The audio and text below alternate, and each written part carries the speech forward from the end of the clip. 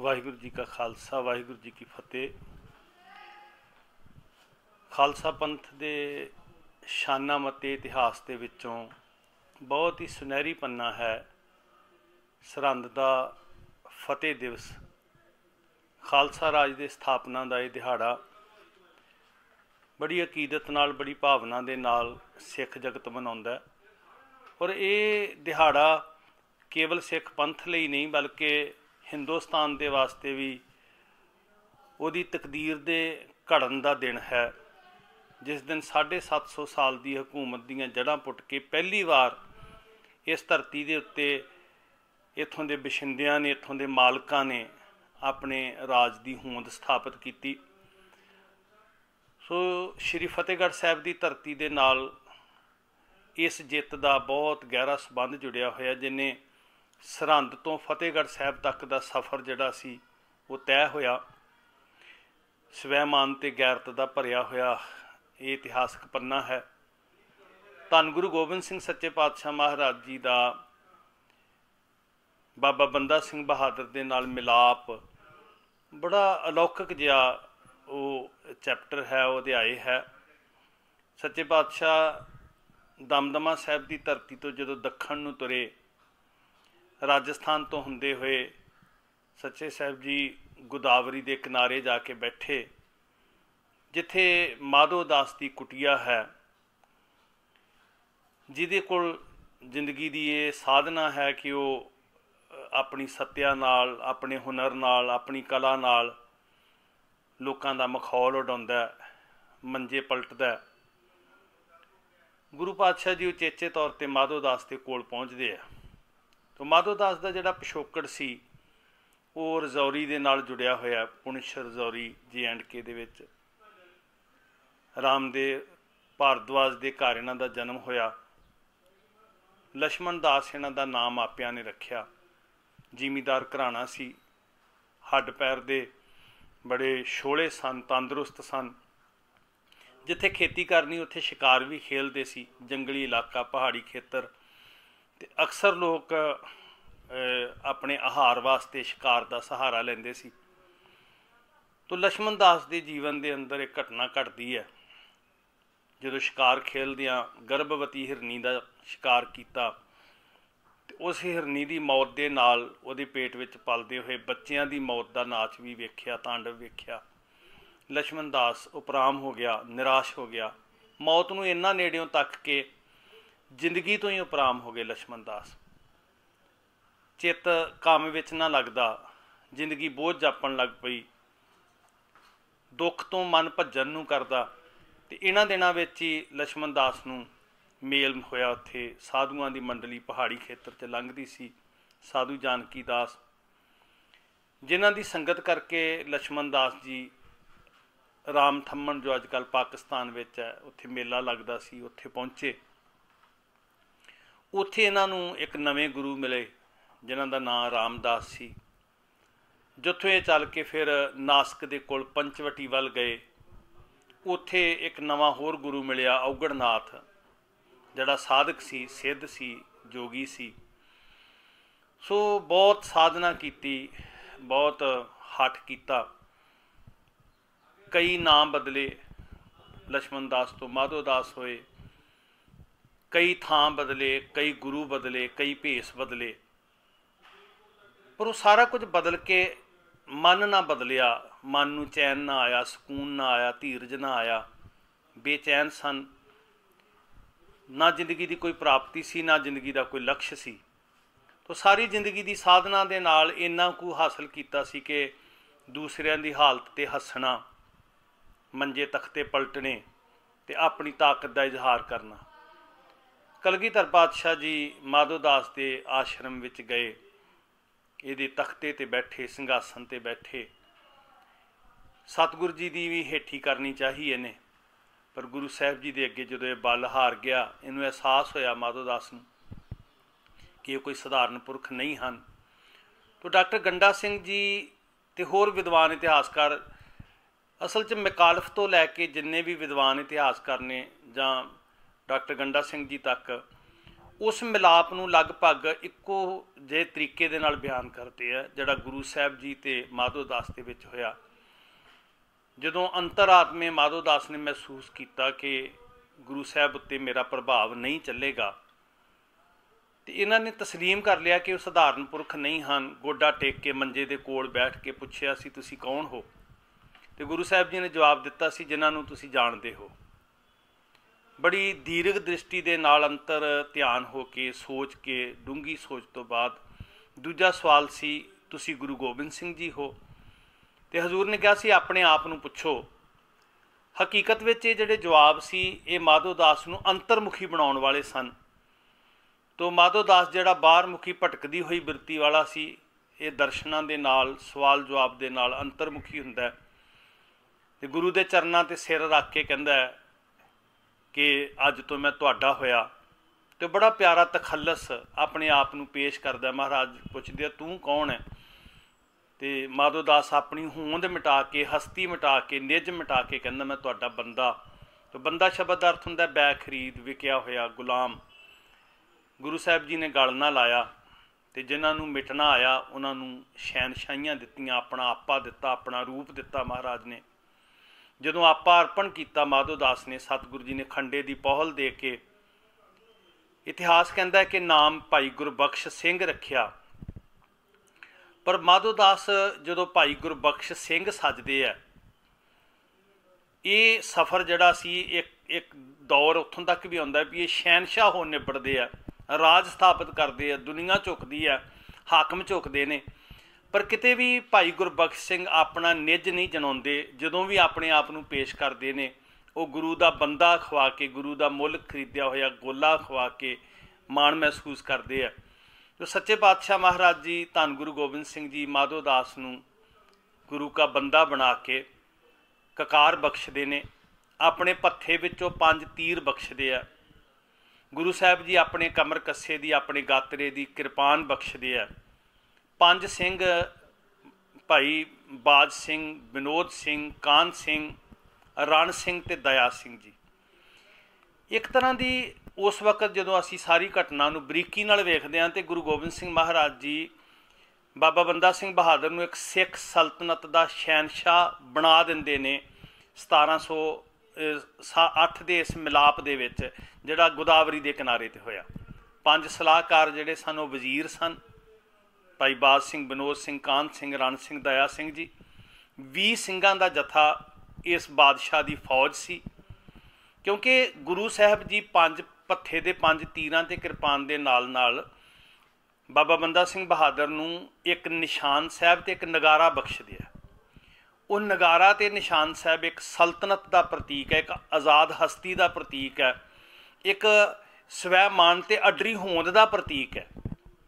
ਤੇ ਥਾਪੜਾ ਦੇ ਕੇ ਨਾਲ ਜਿਹੜੀ ਸਭ ਤੋਂ ਵੱਡੀ ਬਖਸ਼ਿਸ਼ ਕਰਦੇ ਆ, ਉਹ ਹੈ ਇੱਕ ਟਾਰਗੇਟ ਇੱਕ ਨਿਸ਼ਾਨਾ, ਇੱਕ ਮਿਸ਼ਨ ਤੇ ਉਹ ਮਿਸ਼ਨ ਹੈ ਜ਼ੁਲਮ ਦੀਆਂ ਜੜਾਂ ਪੁੱਟਣੀਆਂ। ਜਿਹੜਾ ਸਿਧਾਂਤ, ਜਿਹੜਾ ਨਿਸ਼ਾਨਾ ਗੁਰੂ ਗੋਬਿੰਦ ਸਿੰਘ ਮਹਾਰਾਜ ਦਾ ਆਪਣਾ ਸੀ, ਜਿੱਥੇ ਸਤਿਗੁਰੂ ਜੀ ਨੇ ਆਪਣਾ ਰੂਪ ਦਿੱਤਾ, ਆਪਣਾ ਬਾਣਾ ਦਿੱਤਾ, ਆਪਣਾ ਤਖੱਲਸ ਦਿੱਤਾ, ਸਿੰਘ ਪਦਵੀ ਦਿੱਤੀ, ਉਥੇ ਨਾਲ ਆਪਣਾ ਮਿਸ਼ਨ ਦਿੱਤਾ ਧਰਮ ਚਲਾਵਨ ਸੰਤੋ ਬਾਰਨ ਦੁਸ਼ਟ ਸਭਨ ਕੋ ਮੂਲ ਉਪਾਰ ਇੱਕ ਗੱਲ ਬਹੁਤ ਜ਼ਰੂਰੀ ਸਮਝਣ ਦੀ ਲੋੜ ਹੈ ਸਰੋਤਿਆਂ ਨੂੰ। ਮੈਂ ਬੇਨਤੀ ਕਰਾਂਗਾ ਕਿ ਕਈ ਵਾਰ ਸਾਡੀ ਜਿਹੜੀ ਸੋਚ ਹੈ, ਉਹ ਨਿੱਜ ਤੱਕ ਸੀਮਤ ਹੁੰਦੀ। ਇਹ ਮਹਿਸੂਸ ਕਰਦੀ ਹੈ ਕਿ ਬੰਦਾ ਸਿੰਘ ਜੀ ਨੂੰ ਸਤਿਗੁਰੂ ਜੀ ਨੇ ਸਹਿਬਜ਼ਾਦਿਆਂ ਦੀ ਸ਼ਹੀਦੀ ਦਾ ਬਦਲਾ ਲੈਣ ਲਈ ਭੇਜਿਆ। ਸਿੱਖੀ ਦੇ ਅੰਦਰ ਬਦਲੇ ਦੀ ਭਾਵਨਾ ਵਾਸਤੇ ਕੋਈ ਜਗ੍ਹਾ ਨਹੀਂ ਹੈ। ਸਿੱਖ ਦਾ ਇੱਕ ਮਿਸ਼ਨ ਹੈ, ਸਹਿਬਜ਼ਾਦੇ ਨਾਂ ਵੀ ਸ਼ਹੀਦ ਹੁੰਦੇ ਆਪਾਂ ਇੱਕ ਘੜੀ ਲਈ ਸਪੋਜ਼ ਕਰ ਲਈਏ। ਫਿਰ ਵੀ ਇਹ ਨਿਸ਼ਾਨਾ ਸੀ ਜ਼ੁਲਮ ਦੀਆਂ ਜੜਾਂ ਪੁੱਟਣੀਆਂ ਦੁਸ਼ਟ ਸਭਨ ਕੋ ਮੂਲ ਉਪਾਰਨ ਤੇ ਧਰਮ ਕਾ ਜੈਕਾਰ ਕਰਨਾ। ਸੋ ਇਹਨੂੰ ਬਦਲੇ ਦੀ ਰੰਗਤ ਨਹੀਂ ਦਿੱਤੀ ਜਾ ਸਕਦੀ, ਇੱਕ ਨਿਸ਼ਾਨਾ, ਇੱਕ ਮਕਸਦ ਹੈ। ਤੇ ਸਦਾ ਹੀ ਸਿੱਖ ਇਸ ਮਕਸਦ ਵਾਸਤੇ ਜੂਝਦਾ ਰਹੇਗਾ ਕਿ ਸੰਸਾਰ ਤੋਂ ਜ਼ੁਲਮ ਦਾ ਖਤਮ ਹੋਏ, ਪਾਪ ਦਾ ਨਾਸ ਹੋਵੇ ਤੇ ਇੱਥੇ ਸਾਰਿਆਂ ਨੂੰ ਇੱਕ ਹਲੀਮੀ ਰਾਜ ਬੇਗਮਪੁਰੇ ਵਾਲਾ, ਜਿੱਥੇ ਕੋਈ ਦੋਖਾਂ ਦੋ ਸੰਤਾਪ ਨਾ ਹੋਵੇ, ਉਹਦੀ ਸਥਾਪਨਾ ਹੋਵੇ, ਇਹ ਸਿੱਖ ਨੂੰ ਮਿਸ਼ਨ ਦਿੱਤਾ ਜਿਹੜਾ ਬਾਬਾ ਬੰਦਾ ਸਿੰਘ ਬਹਾਦਰ ਨੂੰ ਵੀ ਗੁਰੂ ਗੋਬਿੰਦ ਸਿੰਘ ਸੱਚੇ ਪਾਤਸ਼ਾਹ ਨੇ ਦੇ ਕੇ ਤੋਰਿਆ। ਸੋ ਬਾਬਾ ਬੰਦਾ ਸਿੰਘ ਬਹਾਦਰ ਜੀ ਨਿਸ਼ਚਾ ਤੇ ਵਿਸ਼ਵਾਸ ਲੈ ਕੇ 750 ਸਾਲ ਦੀ ਹਕੂਮਤ ਦੇ ਨਾਲ ਟੱਕਰ ਲੈਣੀ ਹੈ ਤੇ ਕੋਲ 20 ਸਿੰਘਾਂ ਦਾ ਜਥਾ ਹੈ, ਫੌਜ ਹੈ, ਪੰਜ ਸਲਾਹਕਾਰ ਨੇ ਸਿੰਘ, ਜਿਨ੍ਹਾਂ ਦੇ ਅੰਦਰ ਗੁਰੂ ਦਾ ਵਸ ਹੈ, ਪੰਚਨ ਮੈਂ ਮੇਰੋ ਵਾਸਾ ਨਿਸ਼ਾਨ ਸਾਹਿਬ ਹੈ, ਜਿਹੜੀ ਆਪਣੀ ਸਲਤਨਤ ਦਾ ਪ੍ਰਤੀਕ ਹੈ, ਨਗਾਰਾ ਹੈ, ਜਿਹੜਾ ਜ਼ੁਲਮ ਨੂੰ ਵੰਗਾਰ ਪਾਉਣ ਦਾ ਪ੍ਰਤੀਕ ਹੈ। ਸੋ ਕਿਤੇ ਵੀ ਕਿੰਤੂ ਨਹੀਂ ਹੈ ਕਿ ਜਿਸ ਹਕੂਮਤ ਨਾਲ ਟੱਕਰ ਲੈਣ ਚੱਲੇ ਆ, ਉਹਦੇ ਕੋਲ ਤੇ ਹਾਥੀ, ਘੋੜੇ, ਫੌਜਾਂ, ਕਿਲੇ, ਤੋਪਾਂ ਰਹਿਕਲੇ ਜੰਬੂਰੇ ਕਿੰਨੇ ਨੇ ਗਿਣਤੀ ਕੋਈ ਨਹੀਂ। ਪਰ ਇੱਕ ਭਰੋਸਾ ਹੈ ਕਿ ਗੁਰੂ ਸਾਹਿਬ ਜੀ ਦਾ ਸਿਰ ਤੇ ਹੱਥ ਹੈ ਤੇ ਜ਼ੁਲਮ ਦਾ ਨਾਸ਼ ਕਰਨ ਵਾਸਤੇ ਇੱਕ ਦ੍ਰਿੜਤਾ ਦੇ ਨਾਲ ਬਾਬਾ ਬੰਦਾ ਸਿੰਘ ਬਹਾਦਰ ਦੱਖਣ ਤੋਂ ਪੰਜਾਬ ਵੱਲ ਨੂੰ ਤੁਰਦੇ ਆ। ਦਿੱਲੀ ਦੇ ਨੇੜੇ ਪਹੁੰਚ ਕੇ ਉਹ ਆਪਣੀ ਚਾਲ ਨੂੰ ਮੱਠਿਆਂ ਕਰਦੇ ਆ, ਸਿੰਘਾਂ ਦੇ ਦਾਲੇ ਇਕੱਠੇ ਕਰਦੇ ਆ। ਗੁਰੂ ਸਾਹਿਬ ਜੀ ਦਾ ਓਟ ਆਸਰਾ ਲੈ ਕੇ ਅਰਦਾਸ ਕਰਦੇ ਆ। ਸਿਤਮਾਂ ਦੀਆਂ ਜਿਹੜੀਆਂ ਨਗਰਾਂ, ਨਗਰੀਆਂ ਸੀ, ਸਡੌਰਾ, ਸਮਾਣਾ, ਇਹ ਕਪੂਰੀ ਆਦਿਕ, ਪਹਿਲਾਂ ਇਹਨਾਂ ਨੂੰ ਸਰ ਕਰਦੇ ਆ। ਹੁਣ ਸਡੌਰੇ ਦੇ ਉੱਤੇ ਉਚੇਚੇ ਤੌਰ ਤੇ ਹੱਲਾ ਇਸ ਲਈ ਸੀ ਕਿ ਸਡੌਰੇ ਦਾ ਵਾਸੀ ਉਸਮਾਨ ਖਾਨ ਜਿਹੜਾ ਸੀ, ਉਹਨੇ ਖੁਦਾ ਪ੍ਰਸਤ ਫਕੀਰ ਪੀਰ ਬੁੱਧੂ ਸ਼ਾਹ ਜੀ, ਜਿਨ੍ਹਾਂ ਦਾ ਅਸਲੀਅਤ ਨਾਮ ਪੀਰ ਬਦਰੁਦੀਨ ਸੀ, ਤੇ ਸਿੱਖ ਇਤਿਹਾਸ ਉਹਨਾਂ ਨੂੰ ਸਤਕਾਰ ਵਜੋਂ ਪੀਰ ਬੁੱਧੂ ਸ਼ਾਹ ਜੀ ਕਹਿੰਦੇ ਆ। ਉਹ ਗੁਰੂ ਸਾਹਿਬ ਜੀ ਦੇ ਚਰਨਾਂ ਦੇ ਭਵਰੇ ਆ। ਜਿਨ੍ਹਾਂ ਦੀ ਬੇਗਮ ਬੀਬੀ ਨਸੀਰਾ ਤੇ ਪੀਰ ਬੁੱਧੂ ਸ਼ਾਹ ਜੀ ਨੇ ਆਪਣੇ ਪੁੱਤਰ ਜਿਗਰ ਦੇ ਟੁਕੜੇ ਭੰਗਾਣੀ ਦੇ ਯੁੱਧ ਵਿੱਚ ਗੁਰੂ ਸਾਹਿਬ ਜੀ ਦੇ ਚਰਨਾਂ ਤੋਂ ਨਿਸ਼ਾਵਰ ਕੀਤੇ ਸੀ। ਫਿਰ ਇਹ ਹਕੀਕਤ ਹੈ ਕਿ ਗੁਰੂ ਸਾਹਿਬ ਜੀ ਦਾ ਵਿਰੋਧ ਕਿਸੇ ਫਿਰਕੇ ਨਾਲ ਨਹੀਂ ਹੈ, ਜ਼ੁਲਮ ਦੇ ਵਿਰੁੱਧ ਹੈ। ਸੋ ਉਹ ਪੀਰ ਬੁੱਧੂ ਸ਼ਾਹ ਜੀ ਦੇ ਨਾਲ ਹਾਕਮ ਨੇ ਉਸਮਾਨ ਖਾਨ ਨੇ ਜਿਹੜਾ ਸਡੌਰੇ ਦਾ ਹਾਕਮ ਸੀ, ਬਹੁਤ ਨਿਰਦੈਤਾ ਦੇ ਨਾਲ ਪੀਰ ਜੀ ਨੂੰ ਸ਼ਹੀਦ ਕੀਤਾ, ਉਹਨਾਂ ਦੇ ਪਰਿਵਾਰ ਨੂੰ ਖਤਮ ਕੀਤਾ। ਸੋ ਸਰਹੰਦ ਤੋਂ ਪਹਿਲਾਂ ਜਿਹੜਾ ਸੀ ਇਹ ਸਥਾਨਾਂ ਦੇ ਉੱਤੇ ਉਹਨਾਂ ਪਾਪੀ ਹਾਕਮਾਂ ਨੂੰ ਦੰਡ ਦਿੱਤਾ ਤੇ ਫਿਰ 12 ਮਈ 1710 ਨੂੰ ਖਾਲਸਾ ਫੌਜਾਂ ਮਾਝੇ ਮਾਲਵੇ ਦੁਆਬੇ ਦੇ ਸਾਰੇ ਸਿੰਘਾਂ ਨੂੰ ਇਕੱਠਿਆਂ ਕਰਕੇ ਬੰਦਾ ਸਿੰਘ ਬਹਾਦਰ ਦੀ ਅਗਵਾਈ 'ਚ ਚੱਪੜਚਿੜੀ ਦੇ ਮੈਦਾਨ ਦੇ ਵਿੱਚ ਜਿਹੜਾ ਮੁਹਾਲੀ ਐਂਟਰ ਹੁੰਦਿਆਂ ਲਾਂਡਰਾਂ ਦੇ ਕੋਲ ਬਹੁਤ ਖੂਬਸੂਰਤ ਸਥਾਨ ਜਿਹੜਾ ਉਹ ਯਾਦਗਾਰ ਬਣੀ ਹੋਈ ਹੈ। ਉਸ ਸਥਾਨ ਤੇ ਗੁਰੂ ਘਰ ਬੜਾ ਪਿਆਰਾ ਸ਼ਿਸ਼ੋਭਤ ਹੈ, ਸ਼੍ਰੋਮਣੀ ਗੁਰਦੁਆਰਾ ਪ੍ਰਬੰਧਕ ਕਮੇਟੀ ਸੁਚੱਜਾ ਪ੍ਰਬੰਧ ਕਰ ਰਹੀ ਹੈ। ਉਸ ਸਥਾਨ ਦਾ ਨਾਮ ਫਤਿਹ ਜੰਗ ਜਿਹੜਾ ਉਹ ਸਿੱਖ ਸੰਗਤਾਂ ਵਿੱਚ ਪ੍ਰਚਲਿਤ ਹੈ। ਸੋ ਉਸ ਜਗ੍ਹਾ ਦੇ ਉੱਤੇ ਗਹਿ ਗੱਚ ਜੰਗ ਹੋਈ, ਵਜੀਦੇ ਦਾ ਅੰਤ ਹੋਇਆ। ਸਿੰਘਾਂ ਨੇ ਮ੍ਰਿਤਕ ਸਰੀਰਾਂ ਨੂੰ, ਸ਼ਹੀਦਾਂ ਦੇ ਸਰੀਰਾਂ ਨੂੰ ਸੰਭਾਲਿਆ ਤੇ ਫਿਰ 14 ਮਈ ਨੂੰ ਖਾਲਸਾ ਫੌਜਾਂ ਜਿਹੜੀਆਂ ਸੀ ਉਹ ਸਰਹੰਦ ਵੱਲ ਕੂਚ ਕਰਦੀਆਂ। ਸਰਹੰਦ ਦਾ ਕਿਲਾ ਬਹੁਤ ਮਜ਼ਬੂਤ ਸੀ ਔਰ ਦਿੱਲੀ ਤੇ ਲਾਹੌਰ ਦੇ ਬਿਲਕੁਲ ਦਰਮਿਆਨ ਸਿਰ ਹਿੰਦ ਇਹਨੂੰ ਕਿਹਾ ਜਾਂਦਾ ਸੀ। ਹਿੰਦੁਸਤਾਨ ਦਾ ਸ਼੍ਰੋਮਣੀ ਸ਼ਹਿਰ ਸੀ ਇਹ ਔਰ ਹਕੀਕਤ ਇਹ ਹੈ ਕਿ ਦਿੱਲੀ ਦੇ ਬਰਾਬਰ ਦੀ ਤਾਕਤ ਰੱਖਦਾ ਸੀ। ਬਹੁਤ ਵੱਡਾ ਮੁਗਲਿਆ ਹਕੂਮਤ ਦਾ ਇਹ ਗੜ ਸੀ, ਕੇਂਦਰ ਸੀ। ਸੋ ਬੜੀ ਮਜ਼ਬੂਤ ਕਿਲਾਬੰਦੀ ਸੀ, ਤੋਪਾਂ ਦਾ ਘੇਰਾ ਸੀ, ਬੜਾ ਤਗੜਾ। ਤੋਂ ਗਹਿ ਗੱਚ ਜੰਗ ਹੋਈ। ਸਰਹੰਦ ਦੀ ਧਰਤੀ ਤੇ 6000 ਸਿੰਘ ਸ਼ਹੀਦ ਹੋਏ। 6000 ਸਿੰਘਾਂ ਦਾ ਸੰਸਕਾਰ ਸਹਿਬਜ਼ਾਦਿਆਂ ਦੇ ਸ਼ਹੀਦੀ ਸਥਾਨ ਦੇ ਬਿਲਕੁਲ ਨਾਲ ਪਰਕਰਮਾਂ 'ਚ ਉਸ ਸਥਾਨ ਤੇ ਉੱਤੇ ਜਿਹੜਾ ਜਿੱਥੇ ਅੱਜ ਸ਼ਹੀਦੀ ਬੁੰਗਾ ਸ਼ੋਭਤ ਹੈ ਸ਼ਹੀਦਗੰਜ ਸਾਹਿਬ, ਉੱਥੇ 6000 ਸਿੰਘਾਂ ਦਾ ਸੰਸਕਾਰ ਹੋਇਆ। ਔਰ ਇਹ ਭਾਵੇਂ ਉਹ ਜੈਨ ਖਾਨ ਦੇ ਵੇਲੇ ਸੀ ਜਾਂ ਵਜੀਦੇ ਦੇ ਵੇਲੇ ਸੀ, ਜਦੋਂ ਵੀ ਸਰਹੰਦ ਤੇ ਸਿੰਘਾਂ ਨੇ ਹਮਲਾ ਕਰਨਾ ਹੁੰਦਾ ਸੀ ਭਾਵੇਂ ਉਹ ਖੇਤਾਂ 'ਚ ਕੰਮ ਕਰਦੇ ਕਿਸਾਨ ਸਨ, ਉਹ ਵੀ ਜੂਝਣ ਵਾਸਤੇ ਭੱਜ ਕੇ ਆਉਂਦੇ ਸੀ ਕਿ ਜੇ ਸਰਹੰਦ ਵਿੱਚ ਸ਼ਹੀਦ ਹੋਵਾਂਗੇ ਤੇ ਸਹਿਬਜ਼ਾਦਿਆਂ ਦੀ ਕਤਾਰ ਵਿੱਚ ਖੜੇ ਹੋਵਾਂਗੇ। ਇਹਨਾਂ ਜਜ਼ਬਾ ਹੁੰਦਾ ਸੀ ਕਿ ਜਿਸ ਕਤਾਰ ਦੇ ਮੋਹਰੀ ਸਹਿਬਜ਼ਾਦਾ ਬਾਬਾ ਜ਼ੋਰਾਵਰ ਸਿੰਘ, ਬਾਬਾ ਫਤਿਹ ਸਿੰਘ ਨੇ, ਅਸੀਂ ਵੀ ਸ਼ਹੀਦਾਂ ਦੀ ਉਸ ਕਤਾਰ 'ਚ ਖੜੇ ਹੋਵਾਂਗੇ ਤਾਂ ਸਿੰਘਾਂ ਨੂੰ ਲਾਲੀ ਚੜ ਜਾਂਦੀ ਸੀ ਕਿ ਸਰਹੰਦ ਵਿੱਚ ਜਾ ਕੇ ਸ਼ਹੀਦੀ ਵੀ ਪਾਈ ਤੇ ਤਾਂ ਵੀ ਵੱਡੀ ਪ੍ਰਾਪਤੀ ਆ।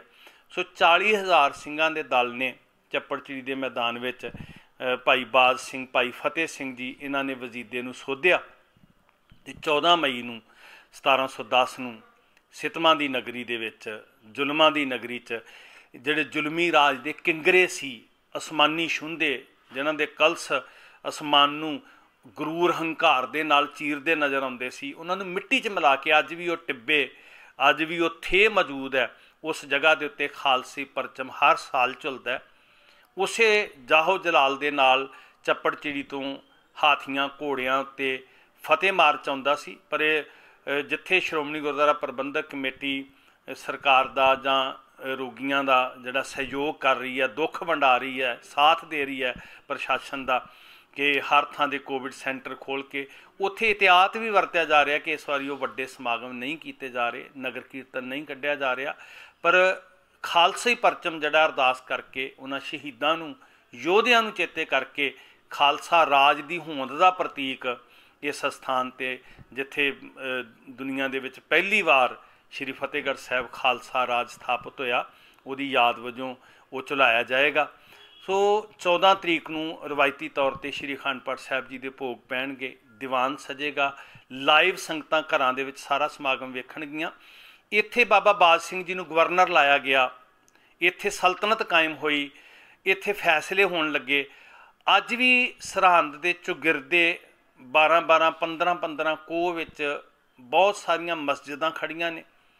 ਮੁਰਿੰਡਾ ਰੋਡ ਉੱਤੇ ਸ਼੍ਰੀ ਫਤਿਹਗੜ੍ਹ ਸਾਹਿਬ ਦੇ ਬਿਲਕੁਲ ਨਜ਼ਦੀਕ ਰੋਜ਼ਾ ਸ਼ਰੀਫ ਹੈ ਔਰ ਦਰਜਨਾਂ ਨਹੀਂ ਸੈਂਕੜੇ ਮਸਜਿਦਾਂ ਜਿਹੜੀਆਂ ਪੁਰਾਣੀਆਂ ਨੇ ਉਹ ਮੌਜੂਦ ਨੇ।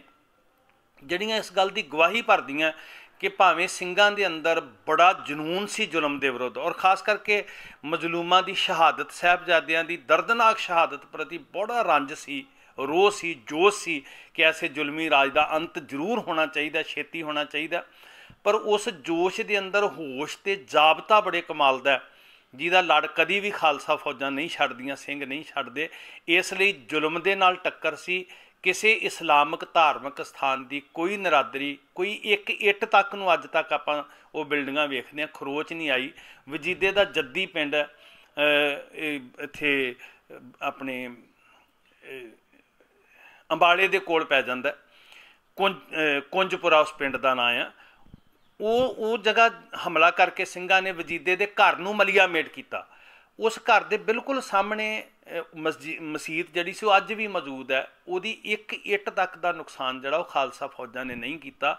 ਇਹ ਜਾਬਤਾ ਵੀ ਹੈ ਸਿੰਘਾਂ ਦਾ ਤੇ ਦੂਸਰਾ ਇੱਕ ਸਿਧਾਂਤ ਵੀ ਹੈ ਕਿ ਕਿਸੇ ਫਿਰਕੇ, ਮਜ਼ਹਬ ਜਾਂ ਧਰਮ ਦਾ ਵਿਰੋਧ ਨਹੀਂ ਹੈ। ਇਹ ਜ਼ੁਲਮ ਦੇ ਨਾਲ ਟੱਕਰ ਹੈ। ਸੋ ਖਾਲਸੀ ਫੌਜਾਂ ਨੇ ਇੱਥੇ ਫਤਿਹਯਾਬੀ ਹਾਸਲ ਕੀਤੀ, ਸਿੱਕਾ ਜਾਰੀ ਕੀਤਾ, ਜਿਹਦੇ ਉੱਤੇ ਅੱਖਰ ਉੱਕਰੇ। ਬਾਬਾ ਬੰਦਾ ਸਿੰਘ ਬਹਾਦਰ ਨੇ ਆਪਣਾ ਨਾਂ ਨਹੀਂ ਜਨਾਇਆ। ਜਿਹੜੀ ਕਰੰਸੀ ਜਾਰੀ ਕੀਤੀ ਖਾਲਸਾ ਰਾਜ ਦੀ, ਉਹਦੇ ਅੱਖਰ ਸਨ ਸਿੱਕਾ, ਜ਼ਾਤਬਰ ਹਰਦੋ ਆਲਮ, ਤੇਗ ਨਾਨਕ, ਵਾਹ ਬਸਤ। ਜਿਹੜੀ ਮੋਹਰ ਲਾਈ ਜਾਂਦੀ, ਜਿਹੜਾ ਪੱਤਰ ਲਿਖੇ ਜਾਂਦੇ, ਫਰਮਾਨ ਜਾਰੀ ਹੁੰਦੇ ਖਾਲਸਾ ਰਾਜ ਵੱਲੋਂ, ਉਹਦੇ ਉੱਤੇ ਕਿਤੇ ਵੀ ਨਹੀਂ ਲਿਖਿਆ ਕਿ ਬੰਦਾ ਸਿੰਘ ਦਾ ਰਾਜ ਹੈ ਉਹਦੇ ਉੱਤੇ ਸੀ, ਦੇਗੋ ਤੇਗੋ ਫਤਿਹ, ਨੁਸਰਤ ਬੇਦ ਰੰਗ, ਯਾਫਤ ਅਜ ਨਾਨਕ, ਗੁਰੂ ਗੋਬਿੰਦ ਸਿੰਘ। ਸੋ ਇਹ ਇਹ ਜਿਹੜੀਆਂ ਗੱਲਾਂ ਨੇ ਬਾਬਾ ਬੰਦਾ ਸਿੰਘ ਬਹਾਦਰ ਦੀ ਨਿਮਰਤਾ ਦਾ ਪ੍ਰਤੀਕ ਨੇ, ਉਹ ਨਾ ਗੱਦੀਆਂ ਲਾ ਕੇ ਬੈਠੇ ਨਾ ਉਹਨਾਂ ਨੇ ਆਪਣਾ ਆਪ ਜਣਾਇਆ, ਉਹਨਾਂ ਨੇ ਲਾਹੌਰ ਦੀਆਂ ਕੰਧਾਂ ਤੱਕ ਸਿੱਖ ਰਾਜ ਨੂੰ ਸਥਾਪਿਤ ਕੀਤਾ ਔਰ ਲਗਭਗ 6 ਸਾਲ ਦੁਨੀਆ ਦੇ ਉੱਤੇ ਵਿਲੱਖਣ ਰਾਜ ਜਿਹੜਾ ਸੀ, ਨਿਆਂ ਦਾ, ਇਨਸਾਫ ਦਾ, ਹਲੇਮੀ ਰਾਜ, ਬੇਗਮਪੁਰੇ ਦੇ ਤਸਵਰ ਵਾਲਾ ਰਾਜ ਜਿਹੜਾ ਸੀ ਉਹਨੂੰ ਕਾਇਮ ਕੀਤਾ ਤੇ ਅੰਤ ਗੁਰਦਾਸ ਨੰਗਲ ਦੀ ਗੜੀ ਦੇ ਵਿੱਚੋਂ ਲੰਬੇ ਘੇਰੇ ਤੋਂ ਬਾਅਦ ਗ੍ਰਿਫਤਾਰ ਹੋ ਕੇ 1716 ਦੇ ਵਿੱਚ ਦਿੱਲੀ ਦੇ ਵਿੱਚ ਬਾਬਾ ਬੰਦਾ ਸਿੰਘ ਬਹਾਦਰ ਨੂੰ ਉਹਨਾਂ ਦੇ ਸਾਥੀਆਂ ਸਮੇਤ, ਪਰਿਵਾਰ ਸਮੇਤ ਸ਼ਹੀਦ ਕੀਤਾ ਗਿਆ। ਸੋ ਉਹ ਜਿਹੜਾ ਜਜ਼ਬਾ ਸੀ, ਗੁਰੂ ਸਾਹਿਬ ਜੀ ਦਾ ਥਾਪੜਾ ਸੀ, ਗੁਰੂ ਨੂੰ ਸਮਰਪਣ ਭਾਵਨਾ ਸੀ, ਸਿੱਖ ਦਾ ਨਿਸ਼ਚਾ ਸੀ ਜਿਹੜਾ ਕਿ ਗੁਰੂ ਅੰਗ ਸੰਗ ਹੈ, ਉਸ ਨਿਸ਼ਚੇ ਦਾ ਪ੍ਰਤੀਕ ਹੈ ਫਤਿਹ ਦਿਵਸ। ਉਸ ਸਵੈਮਾਨ ਗੈਰਤ ਦਾ ਪ੍ਰਤੀਕ ਹੈ, ਜ਼ੁਲਮ ਦੇ ਨਾਸ਼ ਨੂੰ ਦੁਨੀਆ ਦੇ ਉੱਤੇ ਇੱਕ ਸੁਨੇਹੇ ਵਜੋਂ ਵੀ ਸਿੱਖ ਦਾ ਟਾਰਗੇਟ ਕੀ ਹੈ, ਨਿਸ਼ਾਨਾ ਕੀ ਹੈ। ਸੋ ਇਸ ਧਰਤੀ ਨੇ ਪਹਿਲੀ ਵਾਰ ਆਜ਼ਾਦ ਰਾਜ ਵੇਖਿਆ। ਬੜੀ ਜ਼ਰੂਰਤ ਹੈ ਕਿ ਆਪਣੇ ਬੱਚਿਆਂ ਨੂੰ, ਪੂਰੇ ਹਿੰਦੁਸਤਾਨ ਵਾਸੀਆਂ ਨੂੰ ਇਸ ਸਵੈ ਮਾਨ ਦਾ ਅਹਿਸਾਸ ਕਰਾਉਣ ਲਈ ਕਿ ਮੁਗਲੀ ਰਾਜ ਦਾ ਅੰਤ ਕਿਹਨੇ ਕੀਤਾ ਉਹਦਾ ਇਤਿਹਾਸ ਸਾਰੇ ਹਿੰਦੁਸਤਾਨ 'ਚ ਪੜਾਇਆ ਜਾਏ। ਬਦਕਿਸਮਤੀ ਹੈ ਕਿ ਇਹਦੀ ਚਰਚਾ ਵਿਸ਼ਵ ਪੱਧਰ ਤੇ ਨਹੀਂ ਹੁੰਦੀ। ਹਾਰੀਆਂ ਹੋਈਆਂ ਜੰਗਾਂ ਦੇ ਇਤਿਹਾਸ ਪੜਾਏ ਜਾਂਦੇ ਨੇ ਜਾਂ ਮੁਗਲਾਂ ਦੇ ਗੱਠ ਜੋੜ ਦੇ ਨਾਲ ਜਿਹੜੀਆਂ ਕੀਤੀਆਂ ਜੰਗਾਂ ਨੇ, ਉਹਨਾਂ ਨੂੰ ਤਰਜੀਹ ਦਿੱਤੀ ਜਾਂਦੀ ਹੈ, ਜਿਨ੍ਹਾਂ ਨੇ ਉਸ ਹਕੂਮਤ ਦਾ ਅੰਤ ਕੀਤਾ। ਉਹਨਾਂ ਦਾ ਜ਼ਿਕਰ ਜਿਹੜਾ ਉਹ ਦੇਸ਼ ਪੱਧਰ ਦੇ ਉੱਤੇ ਨਹੀਂ ਹੋ ਰਿਹਾ। ਇਹ ਸੌੜੀਆਂ ਸੋਚਾਂ ਛੱਡ ਕੇ ਅੱਜ ਬਹੁਤ ਜ਼ਰੂਰਤ ਹੈ ਕਿ ਇਹ ਮਾਣ ਮੱਤੇ ਦਿਹਾੜੇ ਰਾਸ਼ਟਰੀ ਪੱਧਰ ਦੇ ਉੱਤੇ ਅੰਤਰਰਾਸ਼ਟਰੀ ਪੱਧਰ ਤੇ ਸਿੱਖ ਤੇ ਮਨਾ ਹੀ ਰਹੇ ਨੇ ਦੁਨੀਆ ਭਰ 'ਚ। ਪਰ ਘੱਟੋ ਘੱਟ ਭਾਰਤ ਵਿੱਚ ਰਾਸ਼ਟਰੀ ਪੱਧਰ ਦੇ ਉੱਤੇ, ਸਰਕਾਰੀ ਤੌਰ ਦੇ ਉੱਤੇ ਕਿ ਕਿਵੇਂ ਇੱਥੋਂ ਵਿਦੇਸ਼ੀਆਂ ਦੇ ਰਾਜ ਨੂੰ ਖਤਮ ਕਰਕੇ ਇੱਥੋਂ ਦੇ ਲੋਕਾਂ ਦਾ ਰਾਜ ਸਥਾਪਿਤ ਕੀਤਾ ਸੀ, ਉਹਦਾ ਜ਼ਿਕਰ ਹੋਵੇ। ਸੋ ਬਹੁਤ ਮੁਬਾਰਕ ਆਪ ਸਭ ਸੰਗਤ ਨੂੰ। ਖਾਲਸਾ ਜੀ ਦੇ ਇਸ ਫਤਿਹ ਦਿਵਸ ਦੀ, ਖਾਲਸਾ ਰਾਜ ਸਥਾਪਨਾ ਦਿਵਸ ਦੀ। ਇਸੇ ਤਰ੍ਹਾਂ ਚੜ੍ਹਦੀ ਕਲਾ ਦੇ ਵਿੱਚ ਇਹ ਦਿਨ ਮਨਾਏ ਜਾਣ। ਤੋਂ ਵਾਹਿਗੁਰੂ ਕਰੇ ਆਉਣ ਵਾਲੇ ਸਮੇਂ 'ਚ ਸਾਰੇ ਪਾਸੇ ਤੰਦਰੁਸਤੀ ਹੋਵੇ, ਸ਼ਾਂਤੀ ਹੋਵੇ। ਕੋਵਿਡ ਦਾ ਅੰਤ ਹੋਵੇ ਤੇ ਜਾਹੋ ਜਲਾਲ ਦੇ ਨਾਲ ਚੜ੍ਹਦੀ ਕਲਾ 'ਚ ਦਿਹਾੜੇ ਫਿਰ ਮਨਾਏ ਜਾਣ। ਵਾਹਿਗੁਰੂ ਜੀ ਕਾ ਖਾਲਸਾ, ਵਾਹਿਗੁਰੂ ਜੀ ਕੀ ਫਤਿਹ।